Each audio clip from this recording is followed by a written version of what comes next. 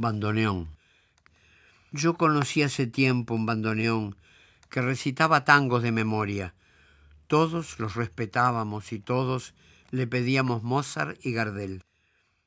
De vez en cuando el tipo se estiraba y de un soplido brusco se encogía y en nuestros homenajes a ese apóstol le prestábamos sístoles y diástoles.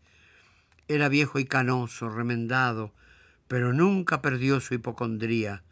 Una noche de niebla lo llevaron y nunca más supimos de su acorde.